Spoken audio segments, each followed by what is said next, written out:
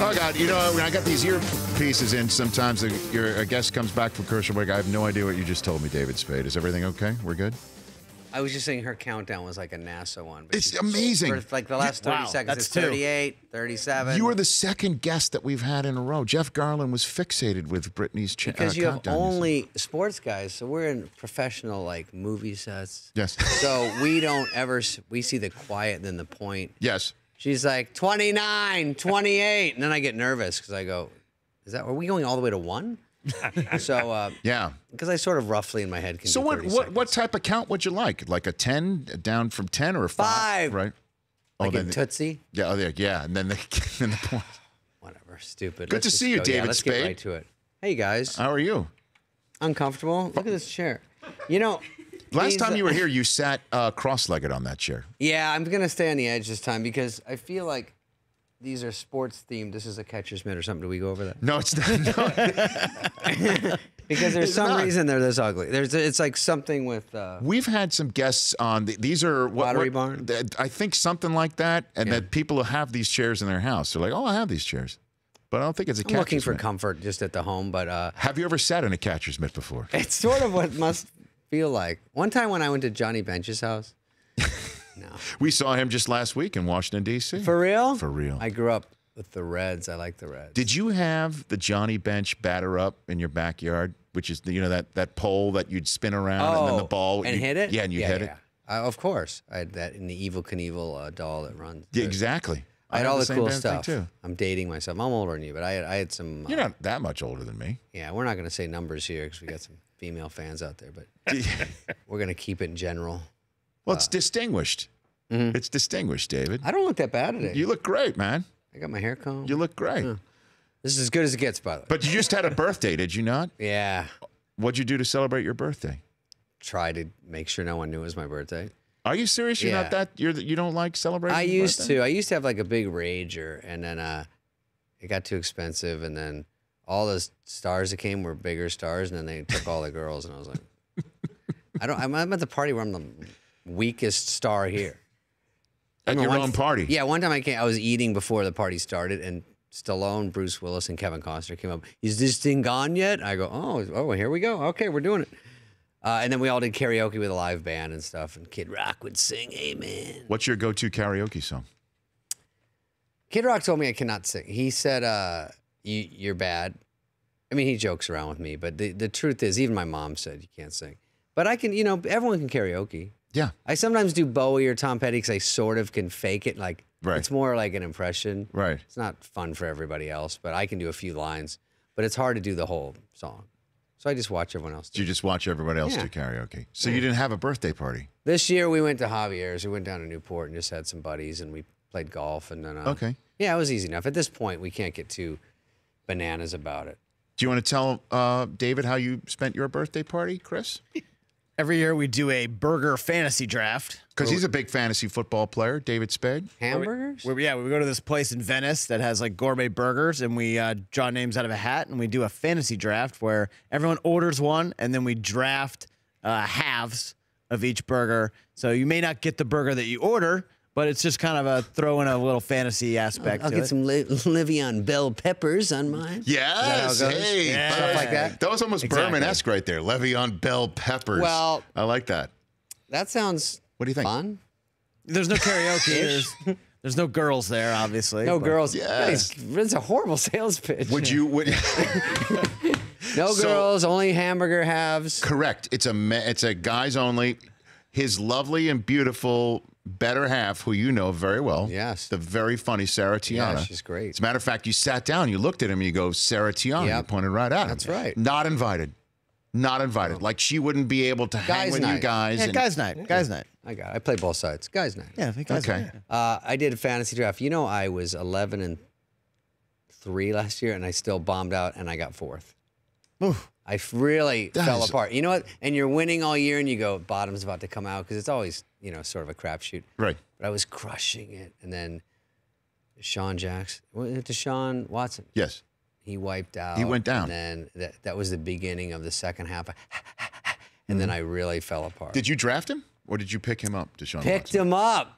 Isn't that the best? Wire. The waiver wire oh, pickup. it's so good. It was so juicy. you feel really good about yourself. When Oh, you I do feel that, right? smart. Yeah, like a GM, and uh, it's really all about the waiver wire because the draft. Usually, the first one or two of mine bust out somehow Mm-hmm. because I'm picking names from a couple years back, Yeah. you know, and then like you get Dez and he craps out on you or something. Right. So I was pretty good. I always go quarterback early, and everyone tells me not to, but it it, it actually is not a bad idea. Yeah, that's you're supposed to not do that. I know, but I can't help it. I see him sitting there, and I pluck him. so I can't take it. I get stressed. Who would you take this time around? I can't say, but um, When is your draft? we don't even. What do you mean you don't know? Wait, Jody, my buddy back there, does it with me. He's the commish of the one of just us Right. idiots, and then I have a Happy Madison one. Who's in that one? Anybody that we It's know? starting to Swardson in fall that? apart. Is Swardson in that one? You know, Swardson's sort of a puss. He doesn't do it, and he, but he talks a big game, but he won't do fantasy. Why? I don't know. You know, there's guys that go, "I'm like a real gambler," and you go, "Okay, yawn." Fantasy's fun. I like it. I agree. It's so good. Da- My buddy had David Johnson, of course. He's like, "I got David Johnson." Snap. What was that?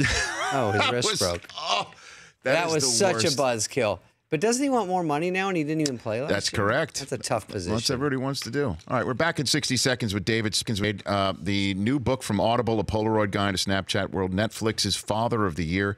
And uh, you said you'd be kind enough to play Phone a Friend of uh, when we when we play uh, Whatever you want, sure. uh, um, uh, Very Tour de France rider and uh, pharmaceutical. yeah, That's they're we're all gonna do. over there. All right, we're back in 60 seconds with David Spade on the Hamburger guys getting excited. All right, David Spade is here at David Spade on Twitter, and you can catch Father of Year, uh, Oh. Father of the Year on Netflix.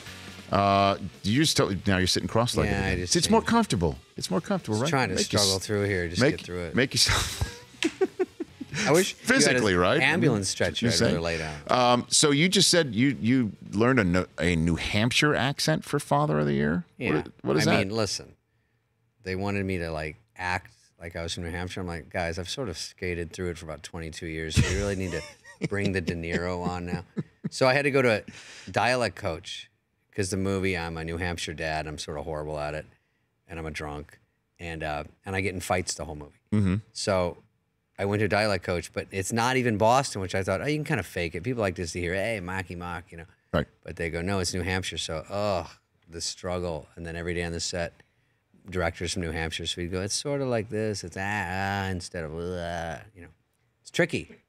But anyway, Did you ever we'll, say? like- we'll like- see in March for the Oscars. That's, that's the that's the summary. Smash cut two Smash cut to downtown Thanks. Los Yeah. downtown Los Angeles. Um, That's when I fell out of the truck at the beginning. I go, oh my god. yeah, I heard that. Yeah, that's a little piece of it. but that's different than Boston. I can't. I don't even remember retain one thing after the movie wrapped. I just was like, Well, you're from that area. Yeah, is, I is mean, it I'm, different? I'm from Maine. It's And a there's little- Maine, too. It's a little bit different. Maine is a lot thicker, See, to be honest. Because what? Because you're close to Canada? I don't understand. No, it's just it's the the lack of R's and the something to do with the lobsters. Could be that. lobster. Could be that. Yeah. Yeah. And uh, the new book from Audible, A Polaroid Guy in a Snapchat World. Yes. I think I know what you mean by that, but you're just an old yeah, school like I'm, guy. I'm a little out of it now. Yeah. why? Why is that? Well, like I was more in the Polaroid world, you know, growing up, and now it's all this other stuff. So I sort of compare the 2 Mm-hmm. Like my generation, I'm not like a full. I guess I am a full generation away, but and then how it is with dating, how it is with. I used to keep my dog in the backyard because it was a dog, and now everyone keeps it inside. You know, I, I sort of go over what was like for me now, where I feel like I realize I'm out of it when I deal with everything going on in the world now. So you're not on Snapchat. You're not on Snapchat. I'm not. I'm on. I'm You're on Twitter? IG. Instagram. Yeah. Right. I didn't do MySpace. I didn't jump in. I go, these things are a passing fancy because I'm so stupid. Right. I'm like, Facebook will never catch on. And then by Twitter, I go, all right, I got to get on one of these. So I did Twitter and Instagram basically. Yeah, but Sandler's not on it at all, right? Oh yeah. Uh, he uh, He's not on it. he at does. He doesn't really monitor it. He he has. But when we did that comedy tour, he was putting stuff on Instagram. You almost have to. You do. I know you do. People don't even know where to get. Uh, they don't know how to. They just go right there. If you're not there, they give up on you. Right. So I just put stupid stuff I'm doing on there. Okay. Yeah. You know, I've got a couple of facts that we've noticed from your um, your IMDb page. We want to see if it's true or Yeah, false. okay. You got that? All right. Here's David Spade here. It'll- Just a quick celebrity true or false. here. Celebrity true Keeping it real. or false? Uh, worked as a skateboard shop employee. True or false? Uh, the Bear Cover in Tempe, right by ASU. Yes, What was that like in his skateboard shop? Just it was good. I used to skate. Did the old AZ pipes. you did? Yeah, Okay. I did the pools. How good were you? I got to where I could do aerial. Once you could get aerials out of pools, it lost me Okay. because I I tried doing aerial and I, aerial axle stall, and then I fell backwards into the pool and I broke both my wrists. Yes. Then I got better, and then I broke my wrist again. And then my mom said, "You can't skateboard." I go, "Cause you're so worried about me." She goes, "No, because you're horrible at it. You keep falling down." But that, but I still like follow Tony Hawk on Instagram to be like, "Hey, I'm in the mix." Yeah. skateboard. Yeah. The one time Tony Hawk was here, he put me on a skateboard and I fell right on my Oh, no, really? Oh yeah. That You're- guy's still good. I can't believe how good he is. I'm not. I'm not very good at it at all. Well, it's I not mean, your thing. Yeah, there You we go, right there. you're a but good I learned. I learned how to fall. I, You can run in a straight line. I heard you can. Run, I can uh, do. that. I could definitely do that. That's good. Uh, next fact: You have a degree in business from Arizona State University. That sort of sounds like a lie. It's a, Maybe th- I said that because everyone thinks I went to ASU.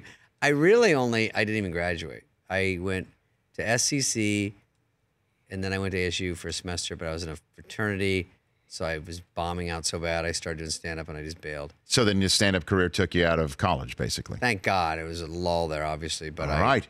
I got Fake six news. credits it. I'm probably about 180 credits of short. short. I might pick it up next summer. So then, uh, your first season on Saturday Night Live, you only appeared three times on the air. Is that, That true? sounds about right.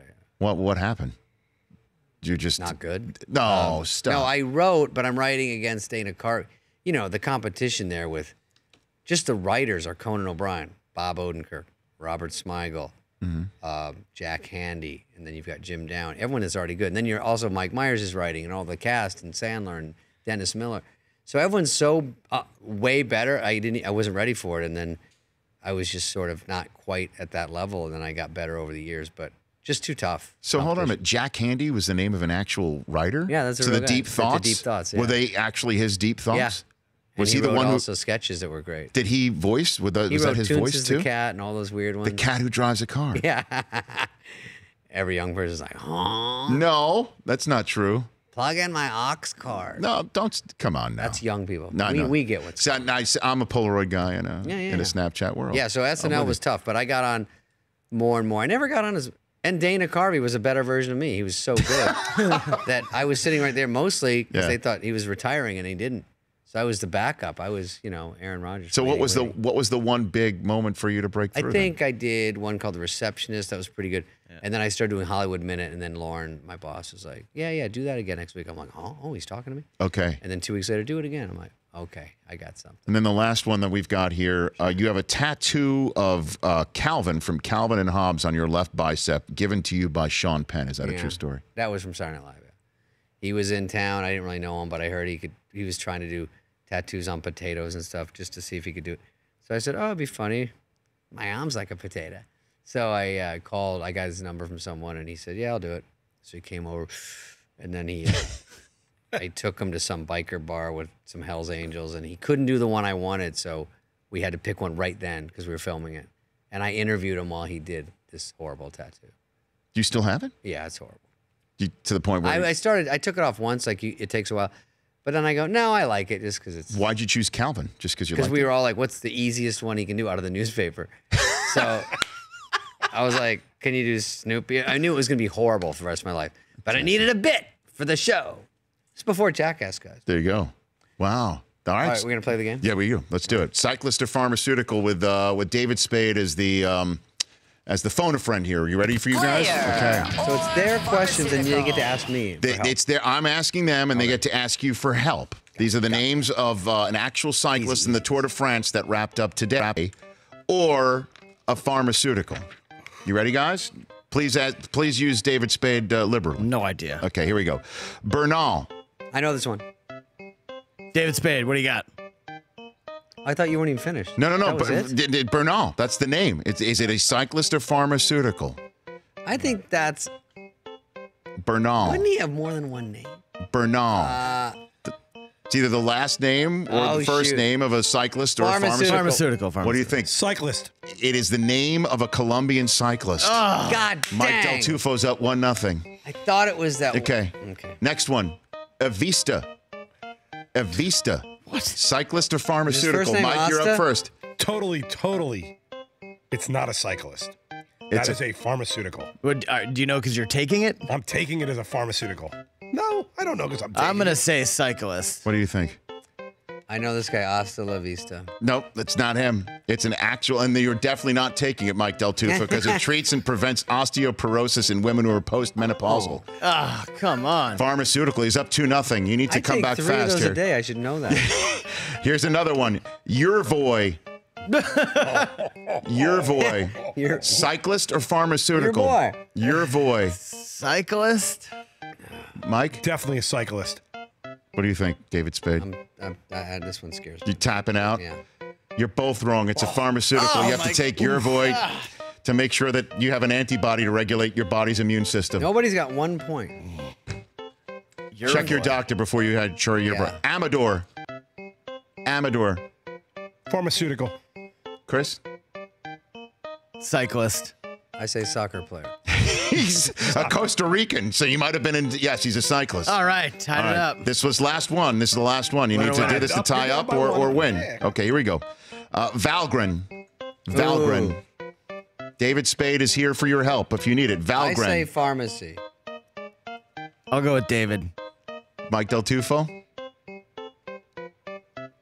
For the win. Pharmaceutical. He is not. He's a Denmark rider. We all lost everyone.